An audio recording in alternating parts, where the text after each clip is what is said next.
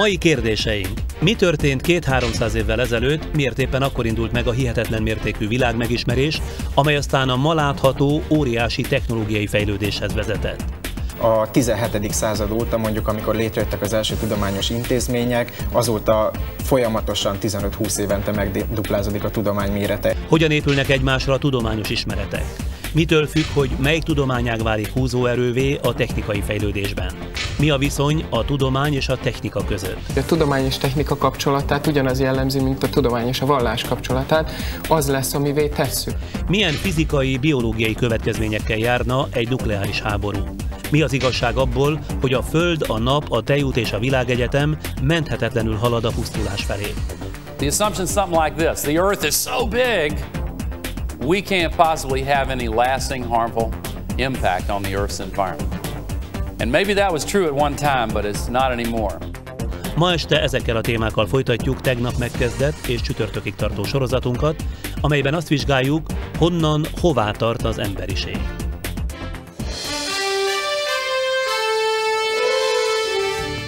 Ez itt a Friderikus Most, esti közéleti politikai műsor Budapestről. Friderikus Sándor következik.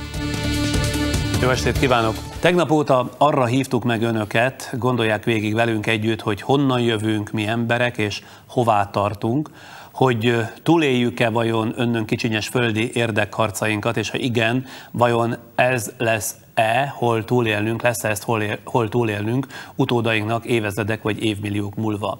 Hogy mennyi fantasztikus dolgot alkotott történelme során az emberiség, és hogy mekkora a késztetés mind a mai napig, hogy mindezt önmaga elpusztítására használja fel, ha csak egy szokásos űrkatasztrófa egy csapásra meg nem oldja még az önpusztítás előtt minden földi problémánkat. Persze maga a tudomány fejlődése is sajátos utat járt be, remélhetőleg egyszer majd hosszabban is megbeszélhetjük az emberi tudomány történetét, mert fantasztikus korszakokkal, személyekkel és fordulatokkal van tele. Most azonban sorozatunk szempontjaira szűkítjük le a beszélgetést, mégpedig arra, hogy mi történt két-háromszáz évvel ezelőtt, miért éppen akkor indult meg ez a hihetetlen mértékű világmegismerés, amely aztán a malátható technológiai fejlődéshez vezetett, mi volt addig, hogyan épülnek egymásra a tudományos ismeretek, milyen akadályokat állítottunk és állítunk saját tudományos fejlődésünk elé, egyáltalán mennyire látunk előre.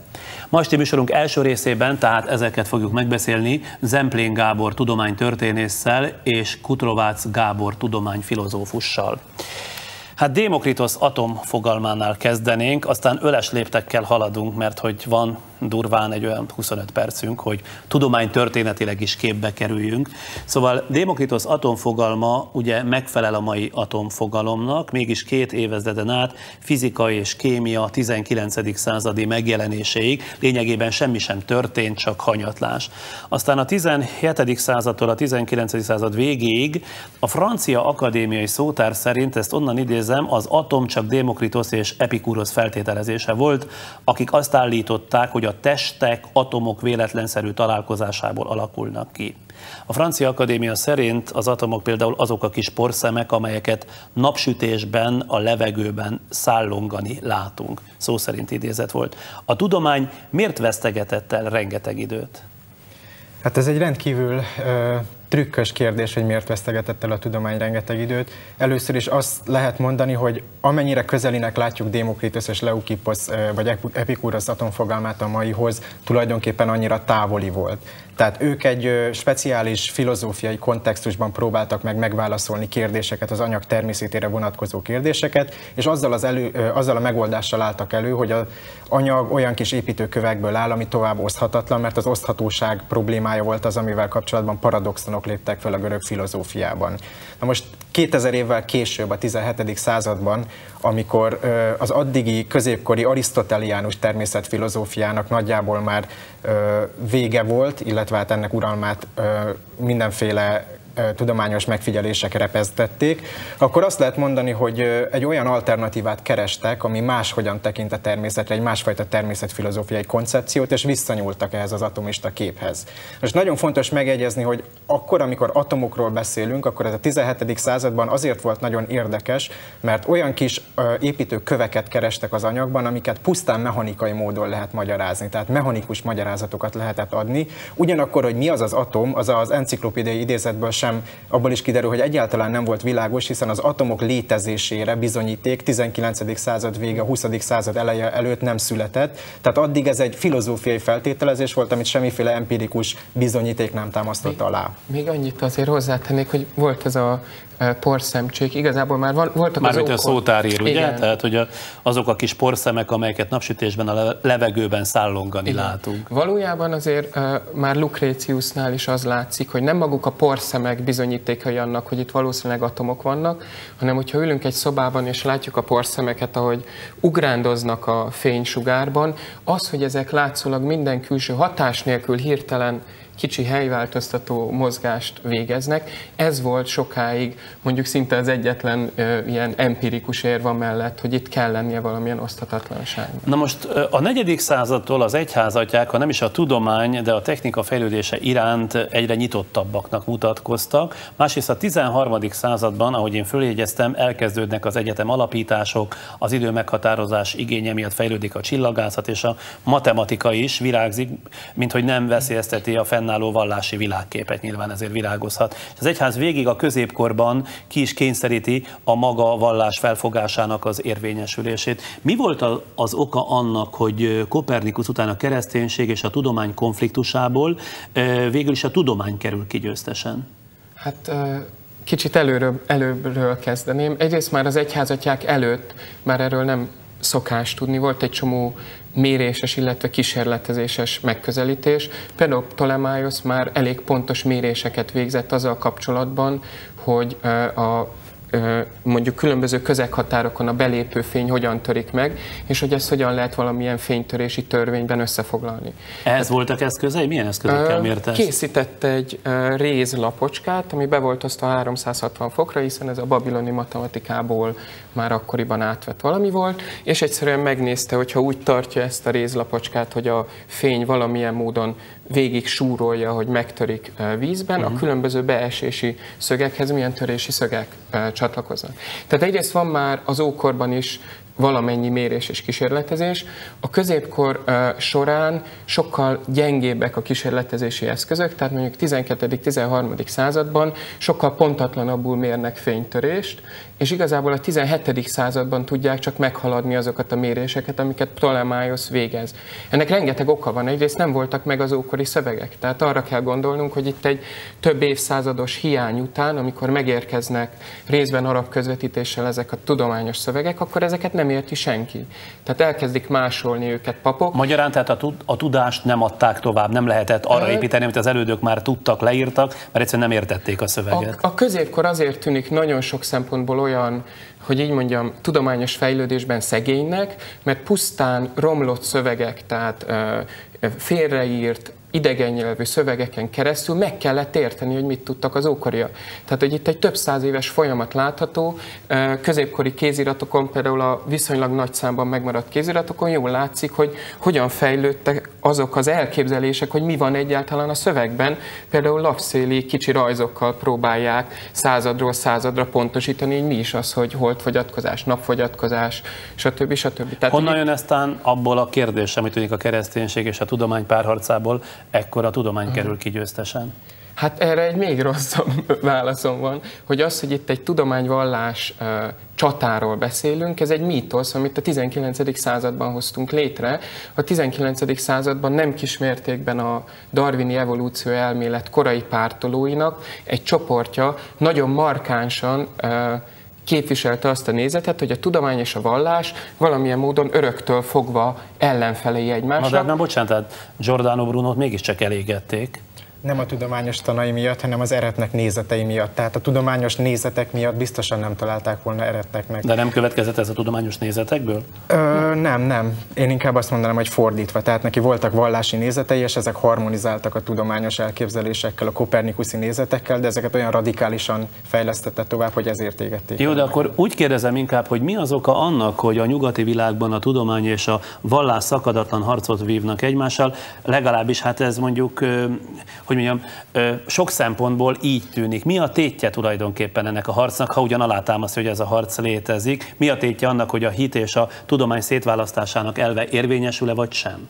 Maradjunk még egy régi példánál, hogy uh, például Galileinél, akinek ugye nagyon híres a pere, uh, ott például nagyon jól látszik, hogy bár sok szempontból még a mai egyház is ezt úgy rekonstruálja, mint ahol egy tudományvallás szembenállás lenne, ahol a vallás valamilyen módon hibázott, az egyház valamilyen módon nem megfelelő lépéseket hozott. Hogyha a korban megnézzük, itt volt egy nagyon magas szintű tudományos vita, ami arról szólt, hogy mennyire lehet biztosan állítani azt, hogy egy elmélet tényleg úgy van.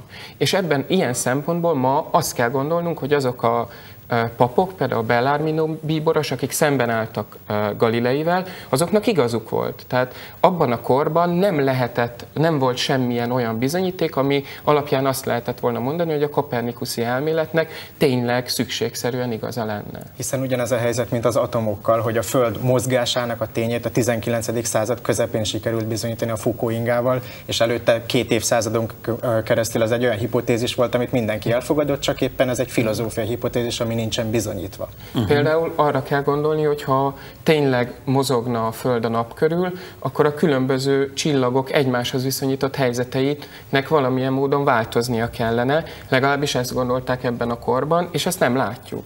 Uh-huh. Tehát, hogy itt nagyon komoly érvek voltak a mellett. Azzal remélem, hogy nem vitatkoznak, hogy a 17. századtól a világegyetemet összetartó alapvető kölcsönhatások, a gravitáció, az elektromágnesesség, az erős és a gyenge magerő felfedezése tagolja nem csak az emberi technika vagy technikák történetét, hanem a társadalom fejlődés is. Ebből adódó kérdés, hogy mondhatjuk-e azt, hogy a tudomány volt a történelem mozgatóereje, vagy ez csak mondjuk a látszat? Hát a 17. században szerintem az a modell jött létre, hogy egyáltalán kölcsönhatások alapján kellene értelmezni a természetet, tehát tulajdonképpen Newtonnak a legnagyobb hatású gondolat ebből a szempontból az volt, hogy van egy olyan kísérletileg bizonyíthatatlan, láthatatlan erő hatás, ami alapján azt gondoljuk, hogy a jelenségek magyarázhatók, és ez volt az, amit aztán próbáltak átvenni a 18.-19. században, és nagyon hasonló módon értelmezni a természet más jelenségeit. Tehát ez volt az, ami alapján igazán megindult a tudománynak az a fajta fejlődés, ami most töretlen fejlődésnek tekintünk, és aminek kapcsán aztán létrejöttek később a más kölcsönhatások. A a társadalommal kapcsolatban én azt hiszem, hogy ma úgy látszik ez az időszak, hogy nagyon intenzív kölcsönhatás van a tudomány és más társadalmi intézmények között. Nem véletlen, hogy ahol Newton is publikálja ezeket a munkáit, az az angol királyi társaság, ami valamilyen módon kap támogatást, nemesektől, időnként a királytól is, és a tudományos kérdések jó része is olyan, aminek közvetlen társadalmi hatása van. Tehát például megtalálni pontosan azt a módszert, amivel egy hajóhelyzete a tengeren meghatározhatóvá válik. Az órák fejlesztése, eleve a Jupiter holdak megfigyelésétől kezdve rengeteg olyan módszeren dolgoznak ebben az időben, aminek nagyon közvetlen hatása van. Nem véletlen, hogy akkori mondjuk Hollandia és Anglia a két vezető tudományos és egyben kolonizációs hatalom ebben az időszakban. Mondanék egy példát. Newton 1687-ben az Alma falról leírta a gravitáció, tehát a tömegmozgás klasszikus törvényeit, és kifejlesztette a mechanika elméletét. Miért mosolyog? Hát, mert az almafa történet az valójában a 18. században egy pár félreértett idézet alapján rekonstruált történet. Valójában az egyetlen olyan dolog, amit talán összeköthető az almával és Newtonnal, az az, hogy Newton azt figyelte meg, hogy a hogy ücsörgött egy kertben, és azt látta, hogy egy alma ugyanolyan méretűnek tűnik, mint a hold, és a távolság függvényében fordította négyzetesen változik a méret, és ez valamilyen módon alátámasztotta azt, hogy esetleg bizonyos erők is fordította négyzetesen változnak. De az, hogy ott ücsörgött volna, és alkoholból intotta volna egy alma, ez, ez egy mítosz. Jó, de mondjuk minden esetre a törvényt magát ismerjük, vagy a felismerést ismerjük, és mi közemberek így ismerjük, úgyhogy ezt nézzel. Szóval a gépeket, működtető törvényeket ugye minden esetre ezt megmagyarázta, ez felgyorsította az ipari forradalmat, ami pedig kialakította azokat a társadalmi ö, csoportokat, amelyek végül megdöntötték a feudalizmust Európában. Mi tudott Newton, amit más, ö, amit más nem tudott, hogy tehát ezekre a törvényekre végül is ő jött rá. Mi halmozódott fel addigra, és miért éppen addigra?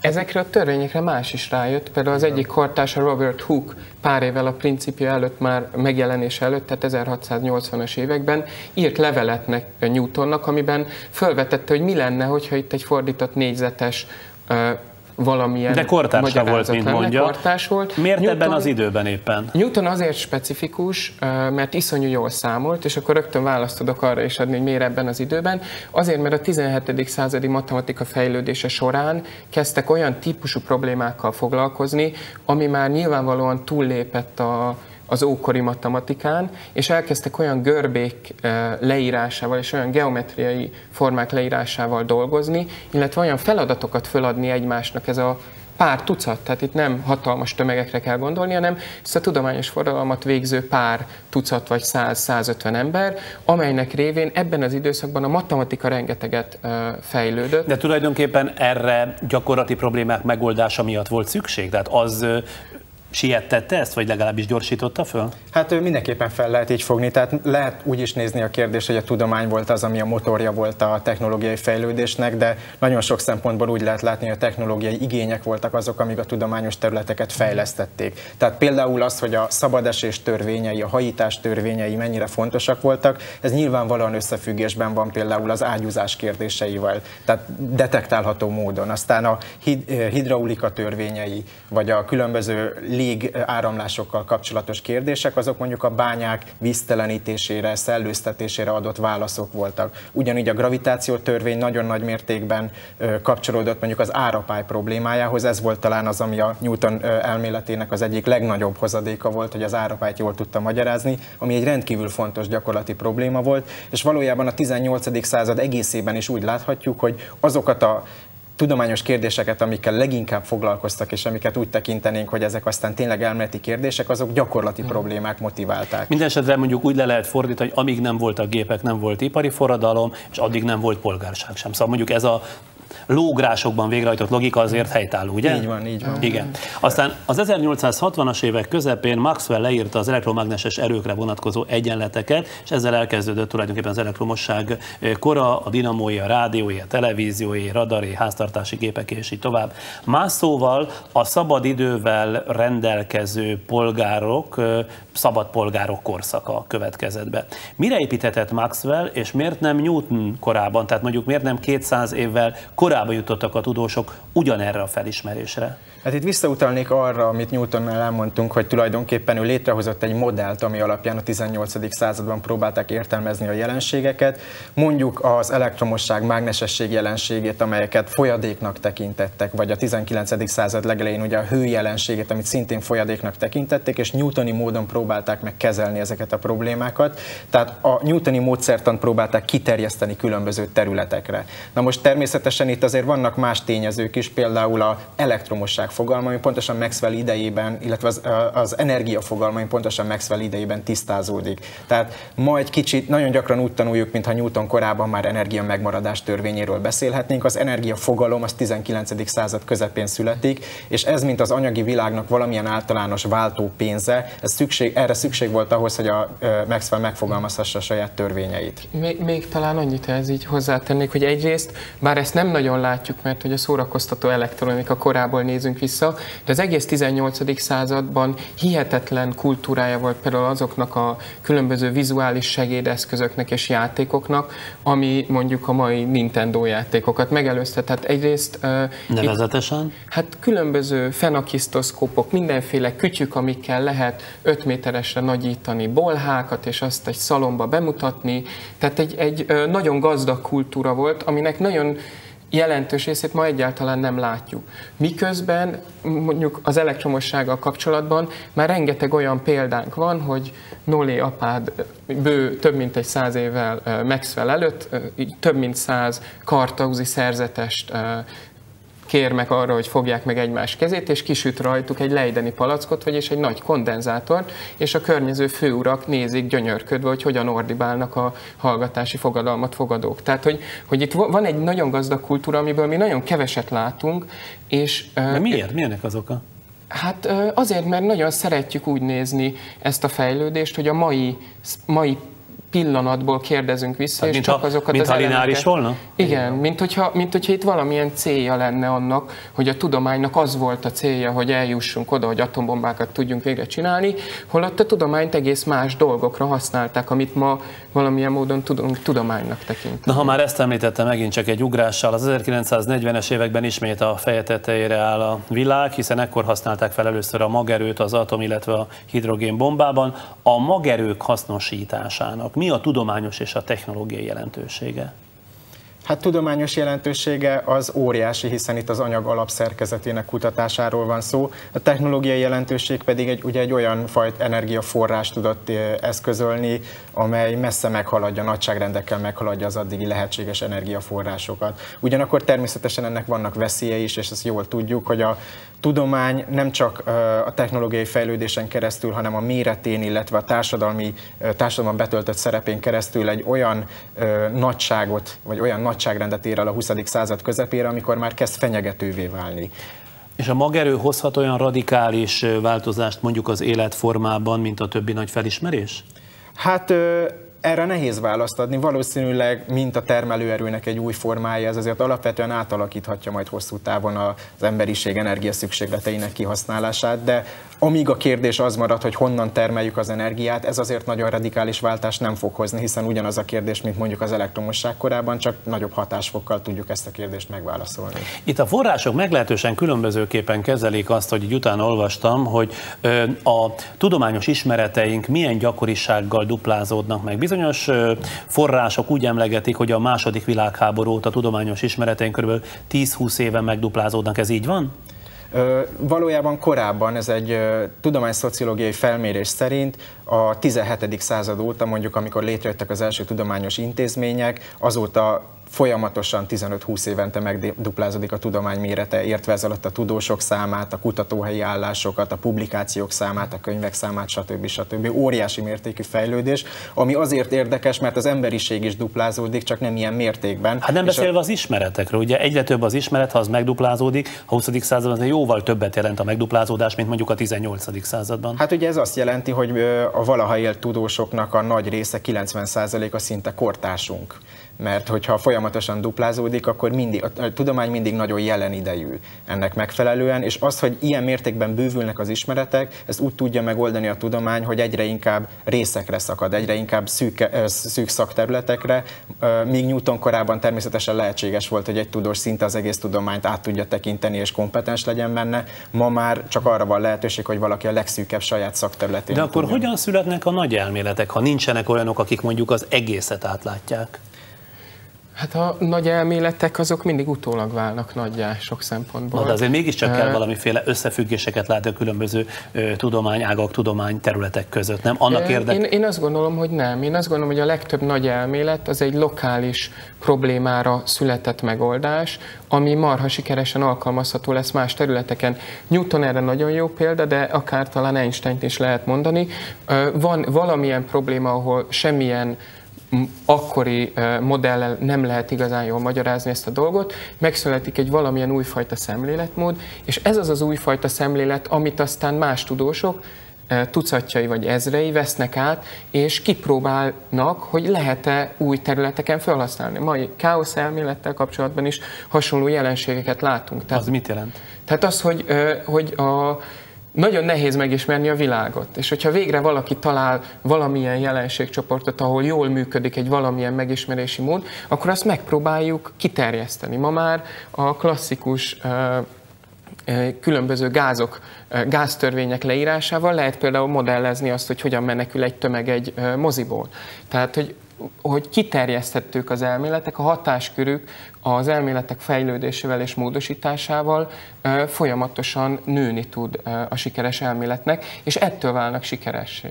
Másrészt pedig rengeteg munka az ilyen nagy keretelméletek alatti szinten lokálisabb jelenségcsoportok megmagyarázására szolgál. Tehát rengeteg munka most nem arról szól, mint hogy az egész 18. század sem arról szólt, hogy most valami hirtelen nagy, zseniális újat találjunk ki, hanem hogy van egy nagyon ígéretes keretelmélet, a Newtoni modell, és hogyan lehet itt-ott, amott részproblémákat megoldani vele. Az egyébként mitől függ, hogy mely tudományág válik meghatározóvá, vagy húzóerővé a többi számára, illetve a technikai fejlődésben? Egy Michio Kaku nevű úr könyve, amelyre itt utaltunk már tegnap este is, a hipertér, azt írja a szerzője, hogy a mai hipertér elméleteket, tudományosabb nevén a szuperhúr elméletet, amelyről majd csütörtökön fogunk részletesen beszélni, ezt a nézők kedvéért mondom, tisztán matematikai alapon dolgozták ki. Hatalmas matematikai apparátust használtak egy olyan összefüggés rendszernek a leírására,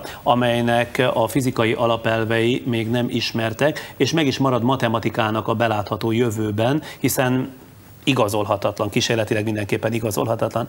Ez egyébként általános jelenségnek számít a tudománytörténetben, Aha. tehát hogy a tudományos elméletek messze elmaradnak egymástól? A 19. század pont Maxwell környékén látszik az, hogy van valamilyen fordulat.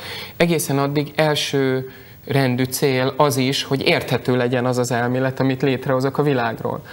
Maxwell után a, tizen, a 20. századra egyre általánosabb lesz az, hogy ha működik a matematika, akkor majd találunk hozzá egy történetet, hogy hogyan is van a világ. Ugye innen származnak azok a azok az ilyen nehezen felfogható dolgok, hogy részecske és hullám természete van az anyagnak.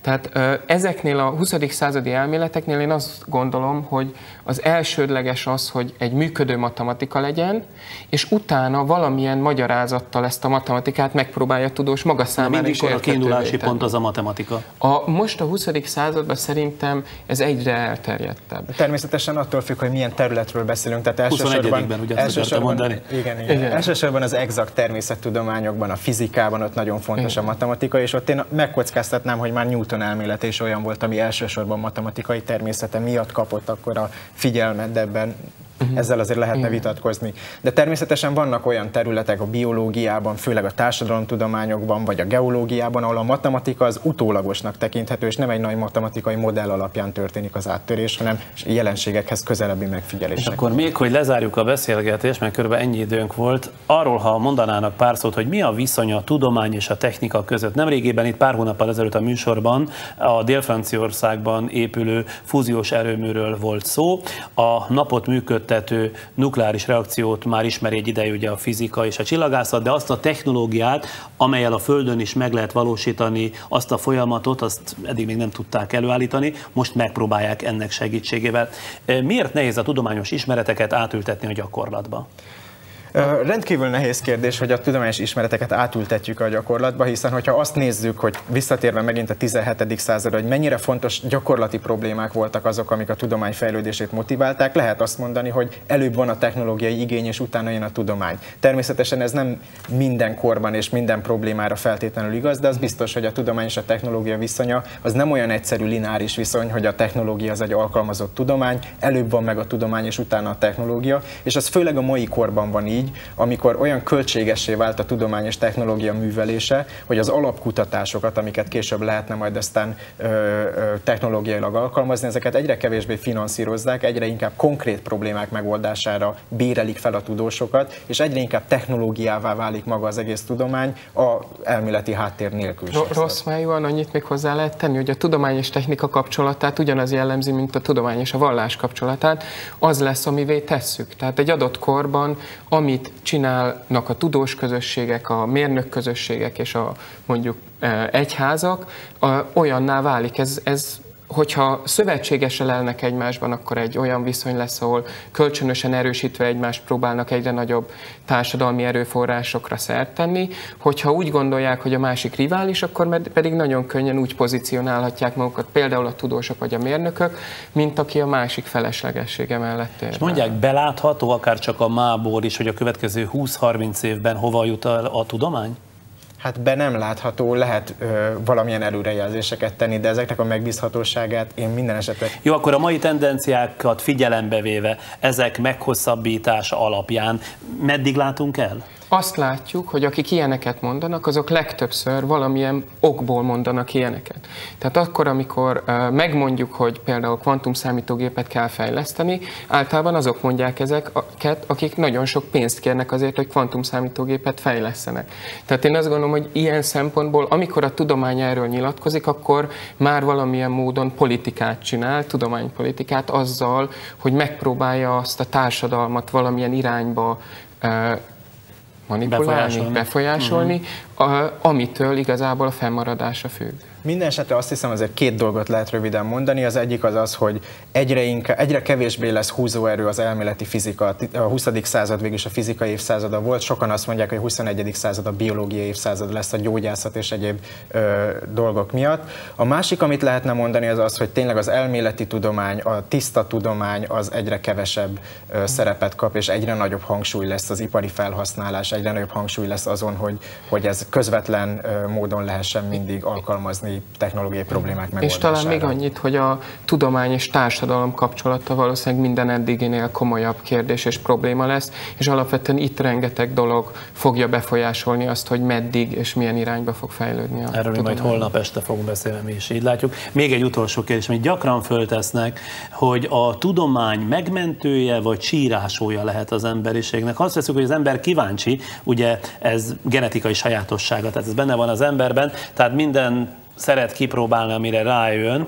Érhet-e bennünket olyan meglepetés, hogy egyszer csak nem leszünk, mert a tudósok mondjuk föltalálják a Föld elpuszt tulását egy lépésben megoldó elméletet vagy technikát, és akkor ezt a kíváncsiság okán mindenképpen ki is akarják próbálni. Szóval merre felé haladunk? Természetesen ez lehetséges, sőt egyre valószínűbb, hogy erre lesz technikai lehetőség. Mindenesetre erre is azt lehet mondani, hogy a tudomány az az lesz, amit csinálunk belőle. Hogyha a emberiség megjavítására használjuk, akkor erre fogjuk használni, ha kipusztítására, akkor pedig, akkor pedig Igen, ez lesz a, a kérdés az azt sejteti, mint hogyha itt lenne a társadalom, mi, meg lenne valahogy külön a tudomány. Holott valójában a tudomány az egyik társadalmi intézményünk, és ugyanúgy, ahogy az adó hatóság, ugyanúgy valamilyen funkciót tölt be, és ez részben a társadalom határozza meg ezt a funkciót. Tehát ez egy társadalmi kérdés alapvetően, nem pedig a tudomány. Na, na de mondjuk azért a tudománynak nincsenek nemzethatárai. Bizonyos szempontból vannak. Nyelvi határai is, és nemzethatárok is bizonyos szempontból uh, sejthetők. Uh-huh. Így aztán ezek egymásra épülnek, azt mondja. Én, én azt, azt gondolom, hogy, hogy nem lehet kiszakítani a tudományt, és úgy nézni, úgy feltenni kérdéseket a tudományjal kapcsolatban, mint hogyha ez a társadalomtól egy valamilyen autonóm módon függő dolog lenne, még ha itt több száz éves retorikai hagyománya is van annak, hogy a tudomány magát így láttatja.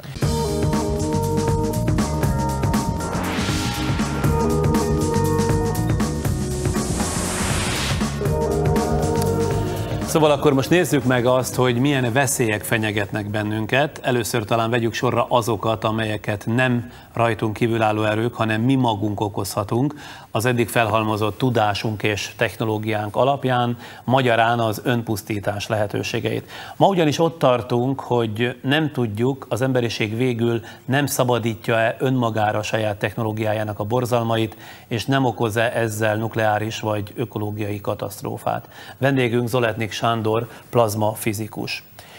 Fantáziadús kozmológusok ugye azt mondják, ha voltak, vannak és lesznek a galaxisban más értelmes lények, előbb-utóbb valamennyien eljutnak a nukleáris kihívásig, mert a galaxis valamennyi intelligens, iparosodó civilizációja felfedezi a 90-es rendszámú elemet, az uránt, 92-es, bocsánat, rendszámú elemet, az uránt, és vele a tömegpusztítás képességét. Az első dolog, ami ebben az állításban, hát minimum megdöbbentő, vagy legalábbis megdöbbenti a magamfajtát, az, hogy a világegyetemben tényleg ennyire egységesen megtalálhatók ugyanazok az elemek, amelyek itt a Földön? Természetesen az egész világegyetemet egységes törvények korlátozzák. Tehát ez azt jelenti, hogy Mengelejev periódusos rendszere az egész világegyetemre érvényes? Igen, ez valószínűleg így van, mert nagyon jól látjuk a csillagoknak a színképében, hogy ugyanazokat a színképvonalakat látjuk távoli csillagokban, a csillagászok ezt nagyon jól tudják alkalmazni. Tehát eléggé közvetlen ismeretek vannak arról, hogy ez a fizika nagyjából működik az egész világegyetemben, amit belátunk. Ez akkor azt is jelenti, hogy nem is képzelhető el másfajta fejlődési logika szerte a világegyetemben, mint a miénk? Hát azt nem tudjuk, hogy milyen élőlények élnek a világegyetemben. Ugye van itt a biológusok körében vita, hogy lehetne esetleg más alapú, szilícium alapú élet, vagy van olyan más jellegű élőlények is. Ezt nem lehet kizárni természetesen, de a fizikai törvények ugyan, ugyanazok. Tehát, hogyha mondjuk egy szilícium alapú élőlény feltalálja az atombombát, ugyanúgy meg tudja csinálni, vagy az atomenergia termelést. Még hozzátenném, hogy a de törvényszerű, hogy felfedezi. Hát ezt nem lehet mondani, hogy törvényszerű, de a lehetősége az fennáll mindig. De aki felfedezi az uránt, az a tömegpusztítás lehetőségét is felfedezi? Az felfedez egy olyan erőt, amelyet felhasználhat arra is, hogy tömegpusztítást csináljon. Meg kell jegyezni, hogy nem csak az uráról van szó, hanem az, hogy magenergiákból energiát termelünk, az egy csomó más anyagra is vonatkozik. Itt arról van szó, hogy egyfajta energiát feltaláltunk, vagy megtaláltunk a természetben, és itt vannak anyagátalakítási lehetőségek, amikből ki tudjuk nyerni ezt az energiát. Például nem csak az urán atommagok hasításából lehet kinyerni, hanem lehet például tórium atommagokból, plutónium más anyagokból is, ugyanakkor lehet kisebb elemeknek az egyesítéséből is, atomok egyesítéséből lehetőségünk, ami a csillagokban zajlik például a fúziós energiatermelésben. Uh-huh. Tehát egy csomó ilyen lehetőség van, ez egyszerűen egy, egy kör, egy energiakör, amit ki tudunk használni. Na most, ha már itt tartunk, az uránbányákban miért nem történik spontán robbanás? Az uránbányában nincs annyira feldúsulva az urán, mint amennyire ezt feldúsítják. Ugye tudjuk, hogy az atombombához nagyon erősen dúsított, majdnem 100%-a dúsított uh, uránizotópok kellnek. 90% hát körül van ez ugye? Igen, ez a 235-ös izotóp az, amelyik hasadni képes, és a természetben csak nagyon kis százalékban, egy százalék alatti százalékban fordul elő. A legtöbb izotóp az a 238-as tömegszámú urán, ez pedig nem képes erre a folyamatra. Már hogy a természet? A természetben magától ez a folyamat nem tud így létrejönni. Persze ilyenkor az ember hajlamos azt hinni, hogy a természet felett erők azért mégiscsak korlátokat határokat szabnak a lehetőségeknek, ez mind azért van, nem? Hát inkább azt is mondanám, hogy esetleg volt egy ilyen lehetőség valahol egy bolygó mondjuk, akkor esetleg lehet, hogy az már fel is robbant, és talán nem is látjuk már. Aha. Itt ugye urán izotópról van szó, amely bomlik. E, vagyis a világegyetem korábbi időszakaiban e, virágzó esetleges civilizációknak jóval könnyebben lehetett atombombát készíteni, hiszen akkor még sokkal nagyobb volt a természet e, dúsítási, a természetes dúsítási arány nem biztos, hogy, hogy pont uránból csinálták az energiát, amire szükségük volt. Lehet, hogy éppen a magfúziós reakciót használták ki, amely a napban van, hiszen a szemük előtt volt, hogy ez a legelterjedtebb energiatermelési folyamat. Lehet, hogy megtanulták már azt csinálni, és abból csinálták az energiáikat. Tehát én azt gondolom, hogy a, ez az urános folyamatok, vagy tóriumos folyamatok, ezek egyfajta technológiát képviselnek, de vannak ennél jobb más lehetőségek is. Lehet, hogy ők felfedezték már azt is. Nem törvényszerűen ugyanerre az alapra igen, működjön. De ezek szerint lesz olyan időszak a világegyetemnek, amikor már nem lehet majd atombombát csinálni? Úgyhogy nem lesz hozzá meg. Mert elbomlott minden izotóp, igen. Lehet, de vannak más anyagok is mondtam, lehet például tóriumból is kiindulni, lehet plutoniumból is. Tehát de ezek is feleződnek, nem? Hát ezek is feleződnek, de az összeanyagunk nem fog elbomlani. Ugye egy, a vas környéki tömegszám, vas környéki izotópok azok, amelyik, amelyek stabilak, legstabilabbak, amíg az összes anyag abba a környékben nem ment, addig mindig lehet energiát termelni. És ezek Kérdés, újra termelődnek a világegyetemben? Ezek nem termelődnek újra, de rengeteg van belőlük. Uh-huh. Na most akkor térjünk rá, amit itt már a felkonferálásban is mondtam, a közvetlen veszélyre. Hány ország rendelkezik ma a világon taktikai és stratégiai nukleáris fegyverrel? Tehát hány ország lenne mondjuk ez idő szerint képes arra, hogy a saját belső problémáinak és külső konfliktusainak megoldását egy atomháborúval próbálja meg elrendezni? Hát én nem foglalkozok fegyverkezésre, tehát nem tudom megmondani, hogy hány ország van nagyjából. Azt hiszem, ez ilyen tízes nagyságrendben van a világon, 10 és 20 között, ha jól sejtem. Nem is lehet pontosan tudni, úgy tudom. Tehát nyilván vannak ilyen országok, a kérdés, hogy ezt ki akarják-e használni.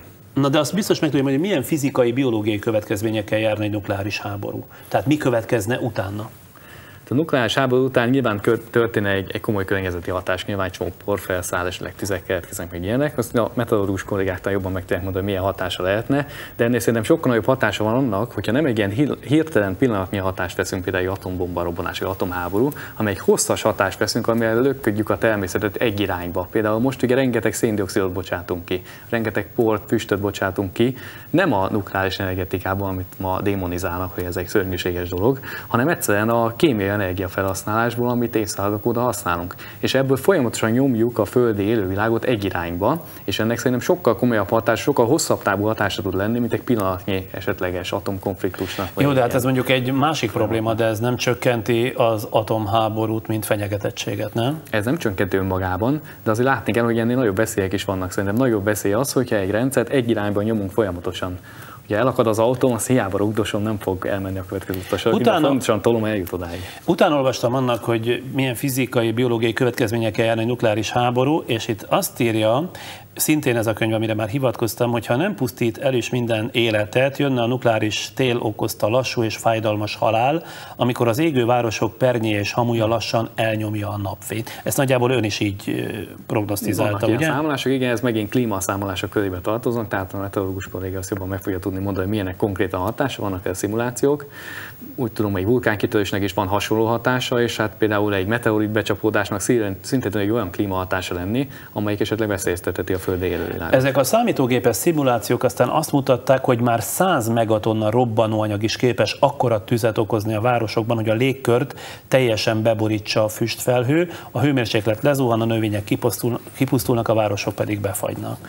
Ez egészen elborzasztó. Jó, hát ezt nem kell, hogy kommentálja, csak mondom. Na most akkor egy aktuális botrányra itt hadd utaljak. Furcsa és nagy felháborodást váltott ki a japán védelmi miniszter minapi kijelentése.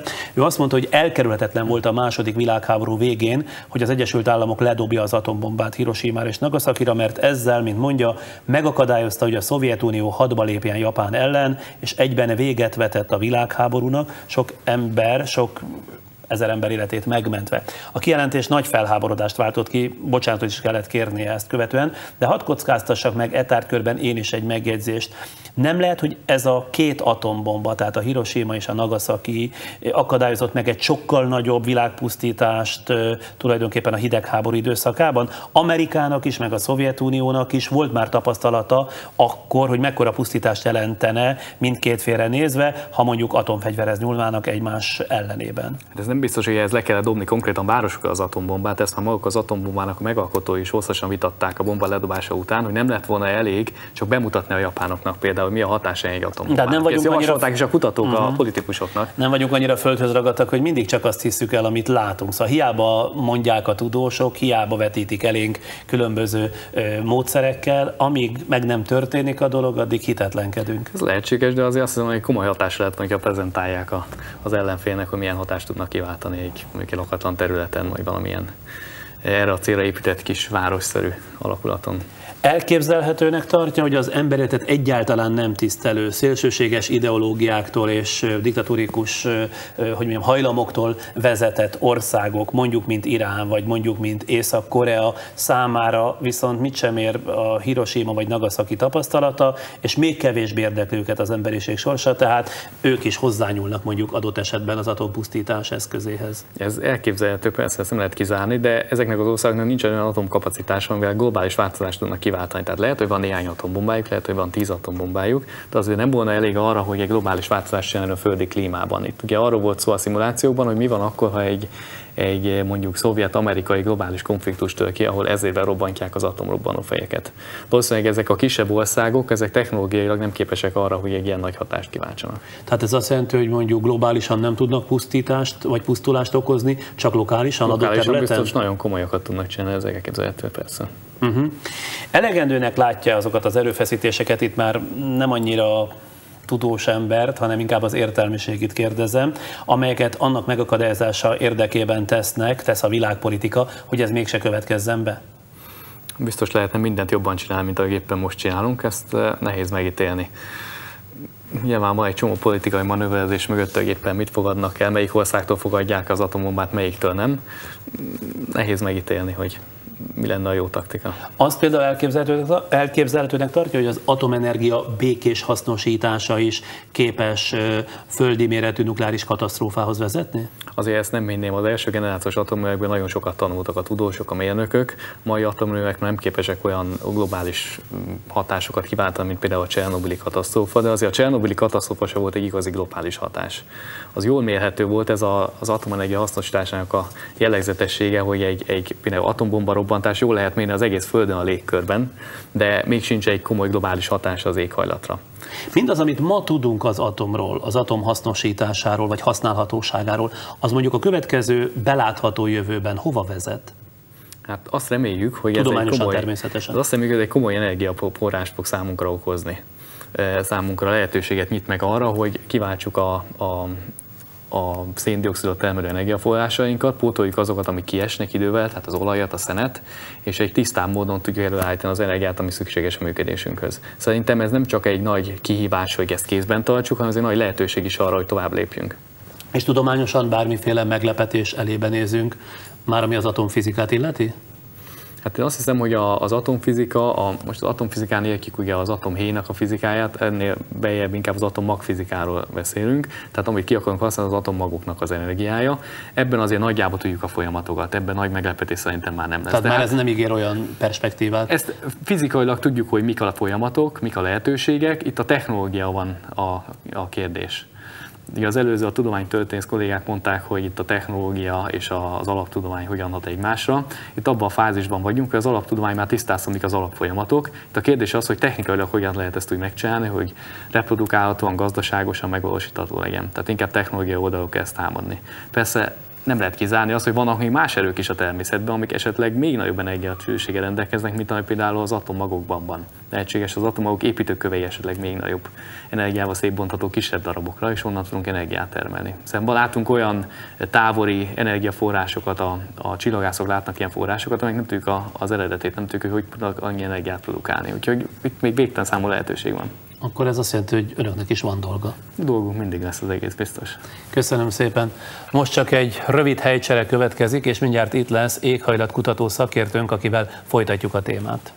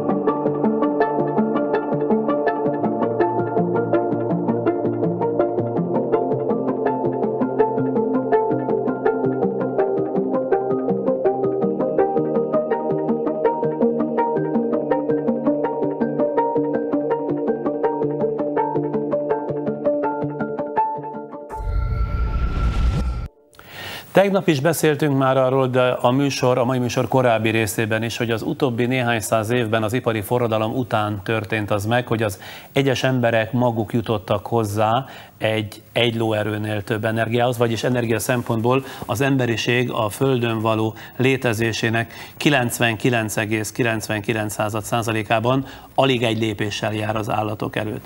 Az elmúlt 200 évben viszont az emberiség lélekszáma meghatszorozódott, az egyfőre jutó anyag és energiafelhasználás pedig a 20-szorosára növekedett. Ez nyilvánvalóan azt jelenti, hogy erősödtek azok a hatások is, amelyeket a Föld ökológiai rendszerére gyakorol az emberiség.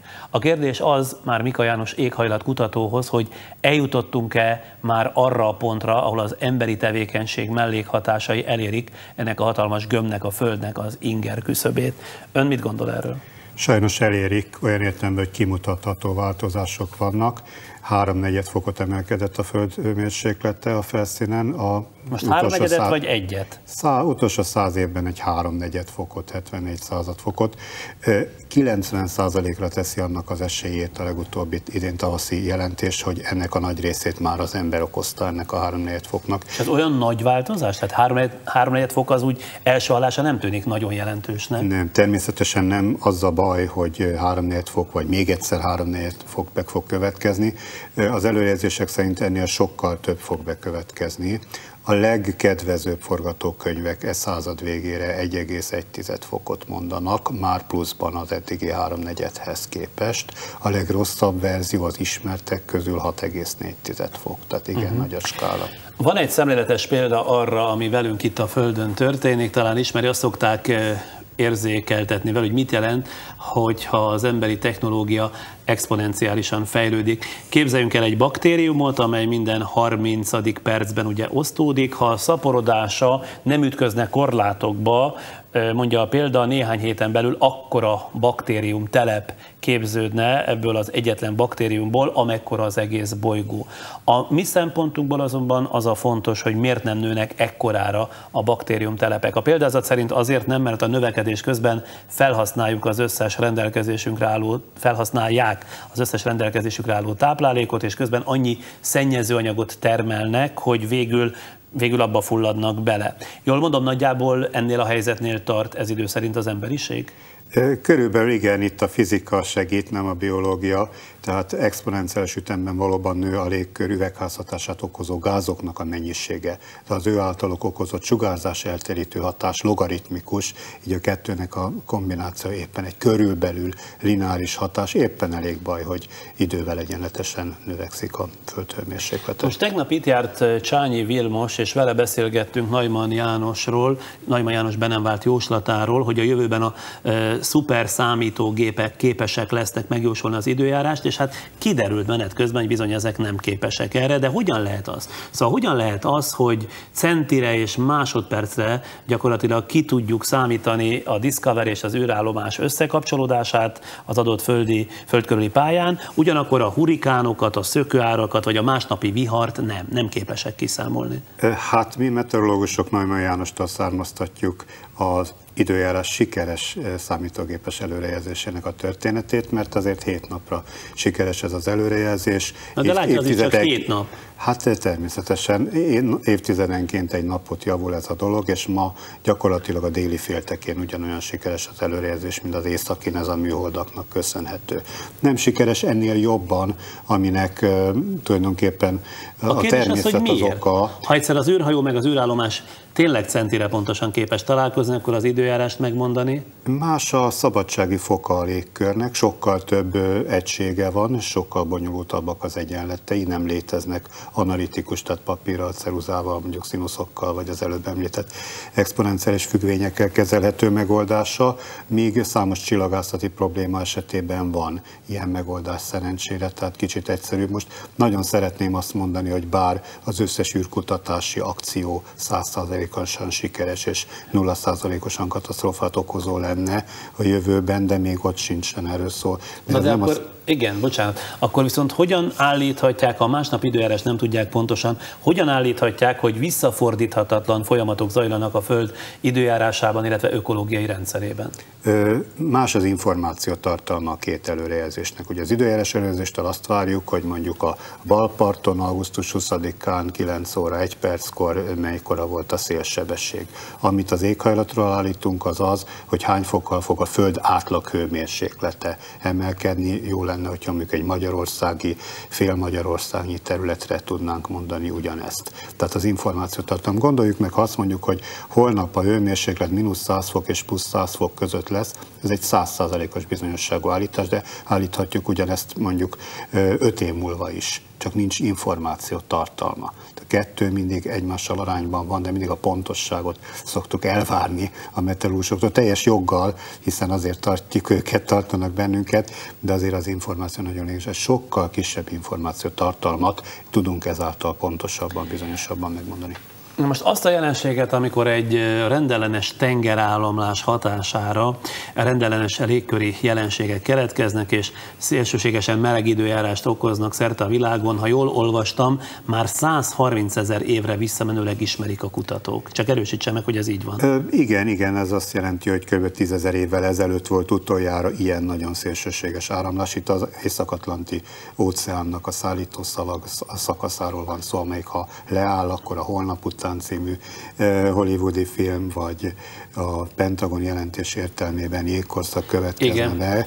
Már ma tudjuk, hogy ez nem következne be, akkor sem, ha leállna ez a cirkuláció. És még Na most ez az El Niño, ugye a spanyol Nem. nyelvben a kis Jézusról elnevezett időjárási jelenség, Nem, amelyet... ez egy picit más elnézést, az egy csendes óceáni egyenlítői páros, az El Niño és a La Niña, amiről az előbb próbáltam beszélni, az Észak-Atlanti áramlás, a nagy háromdimenziós szállító szalag, ami ezer év alatt fordul körbe. Csak én fitoktatni akartam a tudásomat, de gyorsan leláplezett. Mindegy, akkor is a kérdés az kérdés, hogy nem lehet, hogy ma sem történik az ökoszisztémában semmi újdonság, csak a földtörténetből már ismert időjárási jelenségek ismétlődnek? Ez az ökoszisztémában sok minden történik, én próbálnék a légkörre, az éghajlatra koncentrálni. Valóban nem történik más, csak százszor, ezerszer gyorsabban történik, mint ahogy eddig, és ezért nincs esélye a Gaia hipotézisnek se, hogy igazán hatékonyan vissza tudja fogni Minek?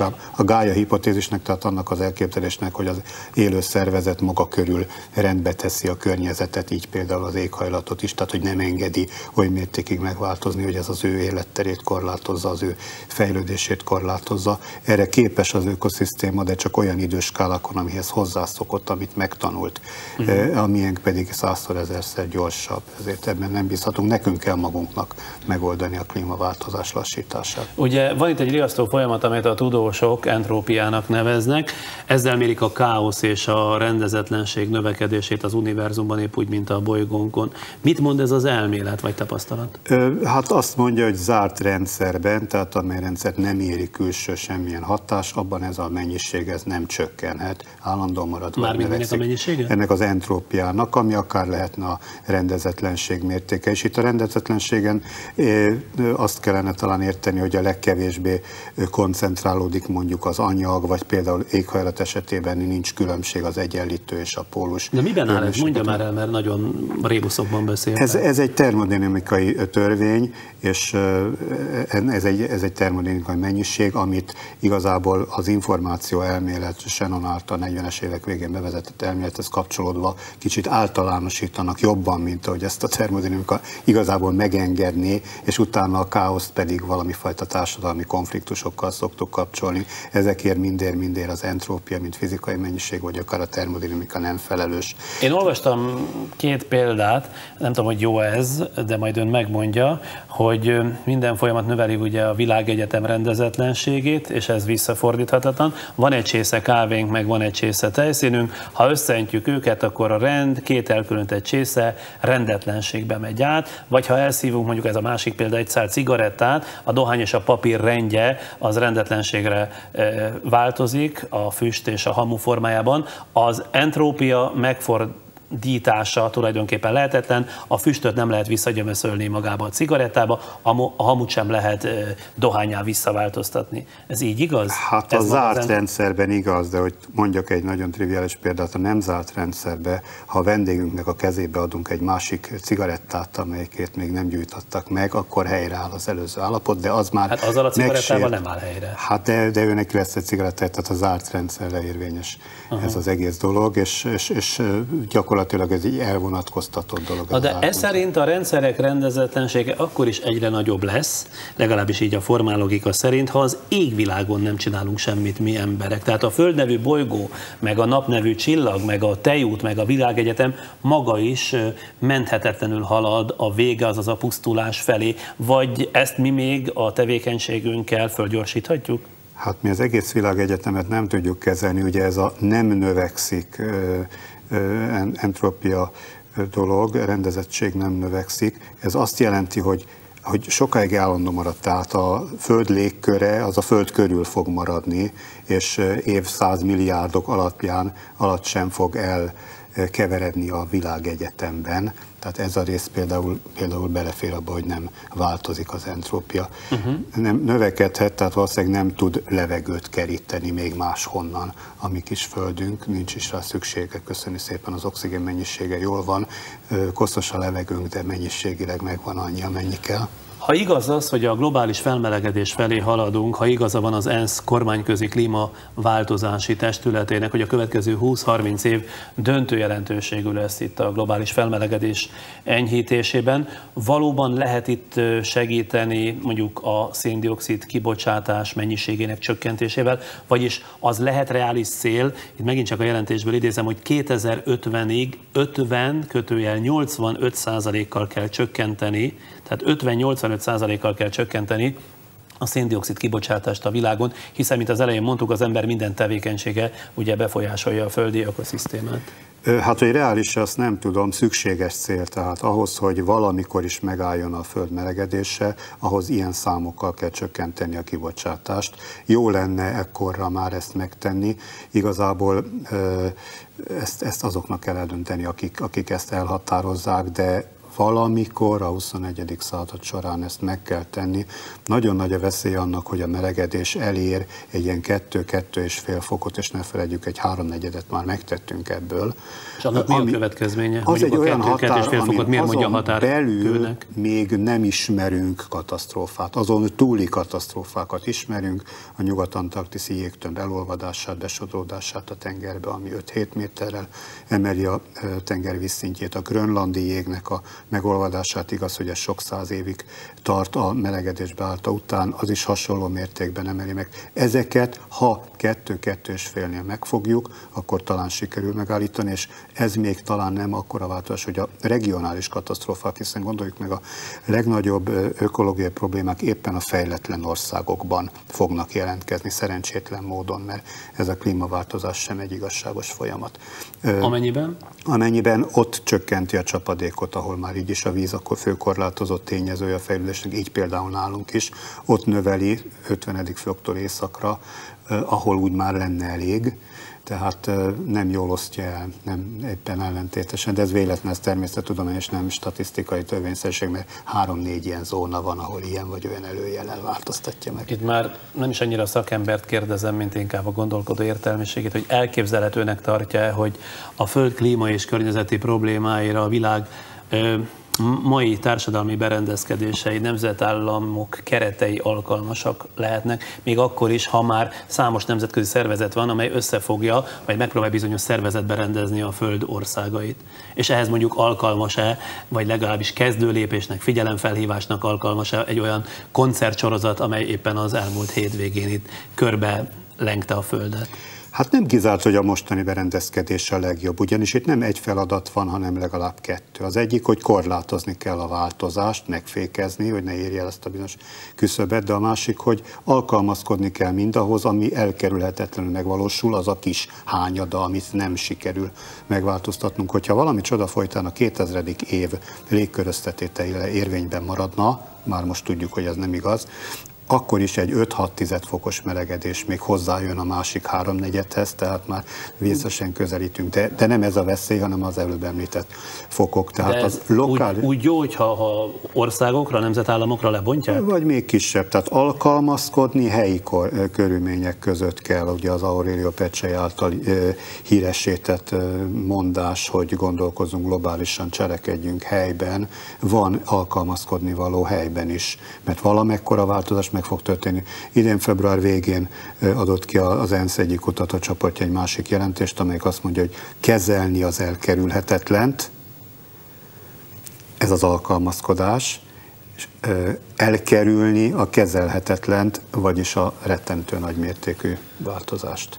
Ezt együtt kell csinálni, és ehhez még nem haszontalan az, hogyha nemzetállamok megmaradnak. Vettem már a nagy levegőt, hogy megköszönjem. Köszönöm szépen. Mára tehát ennyit az emberiség múltjáról, jelenéről és jövőről. Holnap este folytatjuk, de már mindazokat a problémákat, amelyekről ma szó volt, a társadalmi fejlődés szempontjából fogjuk megvizsgálni, illetve újabb szakértők bevonásával azt firtatjuk, hanem mi emberek tesszük tönkre a földi életünket, lehetséges olyan külső ok, amely a végzetünk lehet. Dolgaink így mennek 2007. július 10-én. Jó éjszakát és sok szerencsét!